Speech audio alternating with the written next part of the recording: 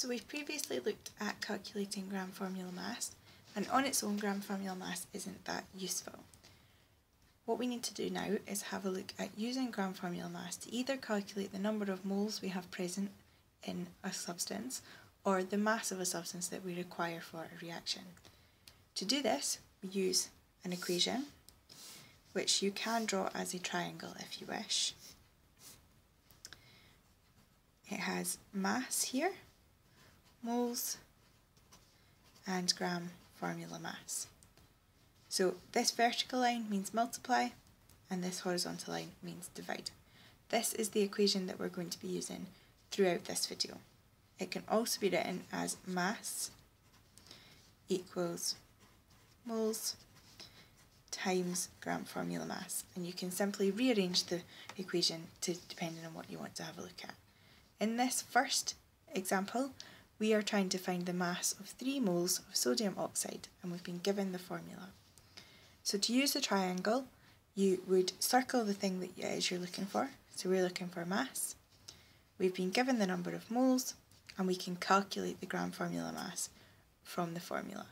So we have two out of three parts of this triangle, which means we can calculate the third. So to work out the gram formula mass, we write down the formula. You'll find that sodium has a relative atomic mass of 23, and as there are two of them, we multiply it by 2.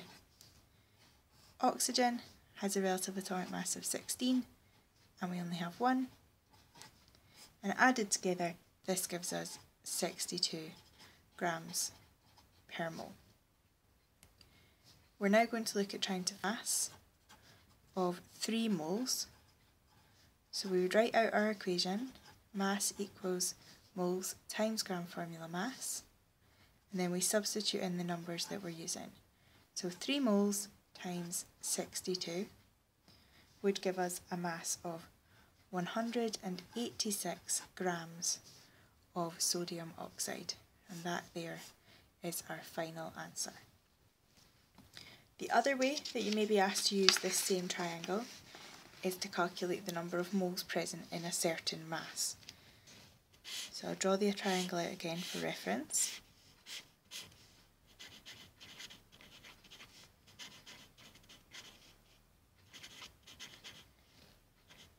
So the question is asking us to calculate the number of moles present in 150 grams of calcium carbonate.